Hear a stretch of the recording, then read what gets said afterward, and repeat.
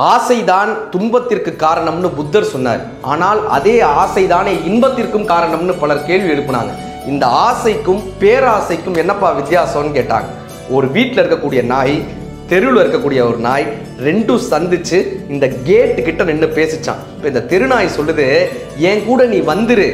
பலதரப்பட்ட வீட்டு சாப்பாடு கிடைக்கும். சுதந்திரமா எங்க வேணாலும் சுத்தலாம். என் கூட வந்துடுறேன்னு சொல்லுது. இப்போ இந்த வீட்டு நாய் சொல்லுது நான் வந்துருவேன் ஆனா எனக்கு ஒரு கமிட்மெண்ட் இருக்கு. அதனால நான் வர முடியாதுன்னு.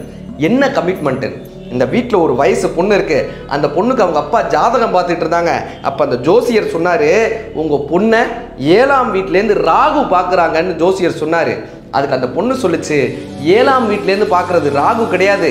ரகு நானும் ரகுவும் ரெண்டு வருஷமாக காதலிக்கிறோன்னு அந்த பொண்ணு சொல்லிச்சு.